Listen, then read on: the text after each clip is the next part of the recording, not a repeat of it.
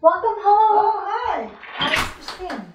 She's upstairs sleeping now. Oh, so she will behave? Yeah, they were very well behaved. Yeah, we told scary stories all night. Oh, yeah, she likes scary stories. Yeah, Maria likes them too, but she was very quiet.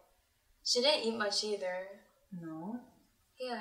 Well, I better get going. It was a pleasure getting to look after your daughter. Well, daughters. I have only one daughter.